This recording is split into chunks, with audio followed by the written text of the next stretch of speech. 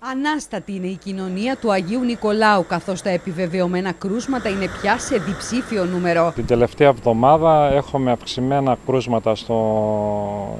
στην περιοχή. Φοβόμαστε ότι αρχίζει και ξεφεύγει η κατάσταση, πράγμα πάρα πολύ ανησυχητικό. Ας προσέχαμε να, να μην τα είχαμε. Δεν φταίμε εμείς, κάποιοι άλλοι τα φέραν εδώ.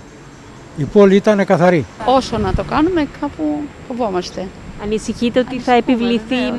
Ε, όταν δεν προσέχουμε κιόλας.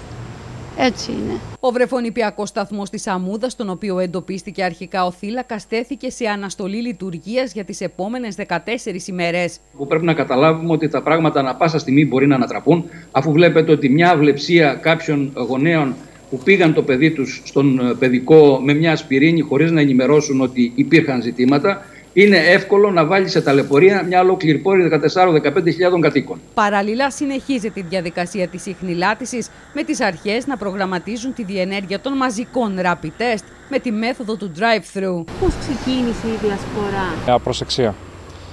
Δηλαδή, ξέραμε κρούσματα τα οποία έπρεπε να είναι σε καραντίνα και δυστυχώς δεν τήρησαν την καραντίνα, βγήκαν έξω και από εκεί άρχισε η διασπορά. Πώς θεωρείτε ότι χάθηκε ο έλεγχος, Δεν ξέρω, αυτό δεν το ξέρω.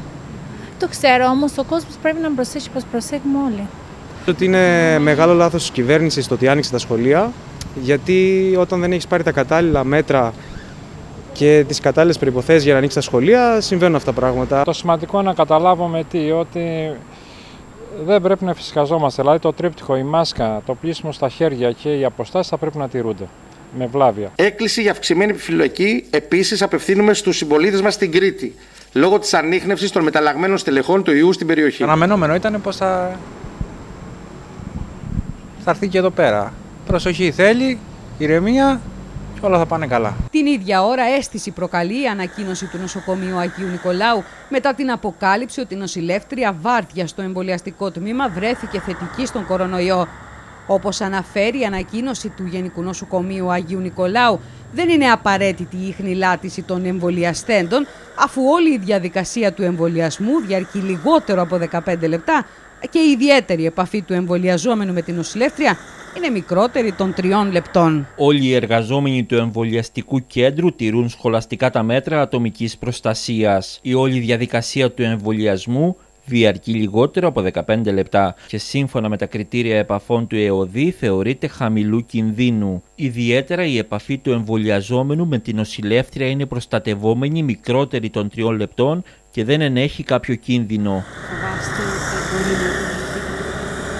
Το φοβόμαστε, είναι πλέον ε, μια κατάσταση δύσκολη. Φαίνεται ότι ο Άγιος Νικόλαος έχει κοκκινήσει. Οπότε είναι όλα πιθανά. Απευθύνω έκκληση στους συνδημότες μου αλλά και σε όλους τους κριτικούς. Προσέχτε, ο ιός είναι δίπλα μας, είναι στο σπίτι μας.